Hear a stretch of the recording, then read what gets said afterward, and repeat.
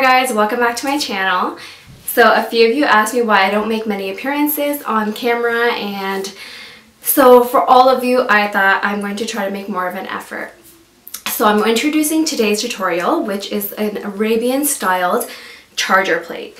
Now of course I'm going to be just showing you the method but you could actually use this for anything. You can take a pizza tray, and make a tray out of it. I mean, the possibilities of what you can do with the method are endless, but this is what I'm doing for an upcoming party, so I thought I would share it with all of you. So, starting with the supplies.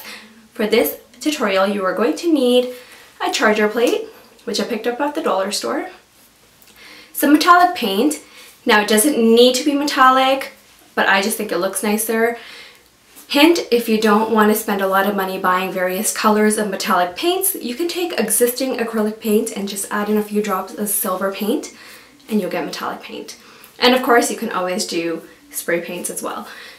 Gold paint pen, stencils, and any kind of sealer that you prefer.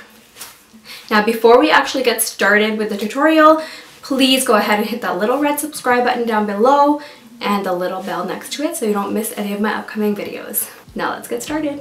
So here I have my plain white charger plate. I'm going to take my metallic paint and put a generous amount and just start spreading it around with my sponge brush.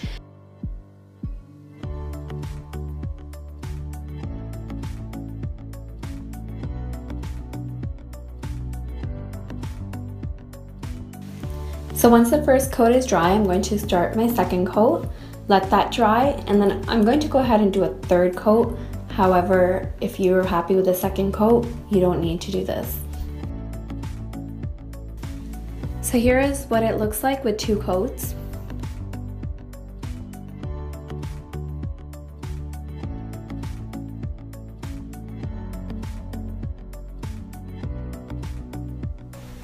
Once the plate is completely dry, we're going to take our stencil and our paint pen and we're going to start just stenciling our design around the plate.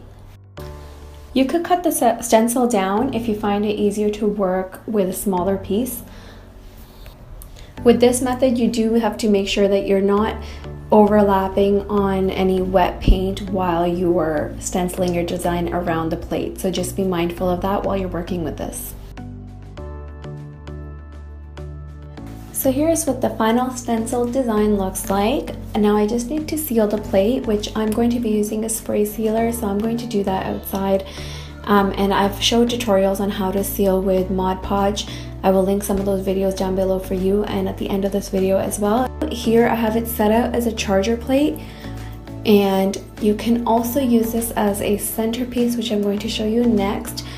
Uh, it looks absolutely beautiful in so many different settings and if the brighter the color, sorry, the darker the color of your plate, the gold will stand out even more. So play around with different colors and um, if you are of South Asian culture, so Indian and Pakistanis, we have a tendency to have lavish parties before the wedding, and one of them being a henna party, and these are perfect for those mehndis and sangeets. If you live in the Greater Toronto area, I do make these um, on request, so please leave me a comment and let me know how to get in touch with you, or link to my Instagram and get in touch with me if you're interested. Anyways, I hope you did enjoy this tutorial and I hope to see you guys in my next video. Thanks for watching